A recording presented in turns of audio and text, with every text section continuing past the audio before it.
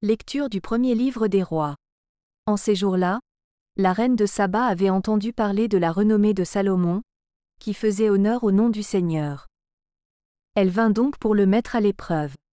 En lui proposant des énigmes. Elle arriva à Jérusalem avec une escorte imposante. Des chameaux chargés d'aromates et d'une énorme quantité d'or et de pierres précieuses. Quand elle fut parvenue auprès de Salomon, elle lui exposa les questions qu'elle avait préparées, mais Salomon trouva réponse à tout et ne fut arrêté par aucune difficulté.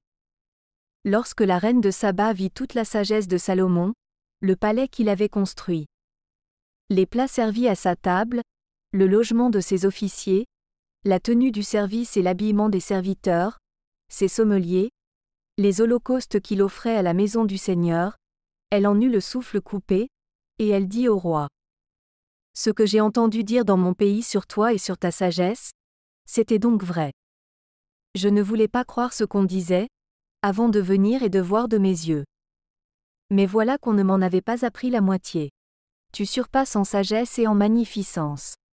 La renommée qui était venue jusqu'à moi. Heureux tes gens, heureux tes serviteurs que voici, eux qui se tiennent continuellement devant toi et qui entendent ta sagesse.